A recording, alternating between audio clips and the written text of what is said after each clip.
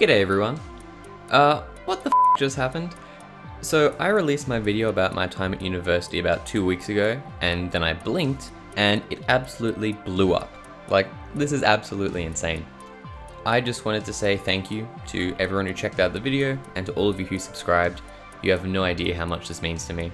One of my friends who helped me get into YouTube and make this channel asked me what my goal was for 2024 and I told him I would love to hit 100 subscribers by the end of the year, and I thought if I kept at it, I might be able to get there by November. But to my absolute shock, that happened in a matter of days, and I was over the bloody moon. So then I decided my next goal should be to hit 250. And once again, you amazing people out there surprised the hell out of me and hit another milestone. So I just wanted to thank everyone, this has been truly special.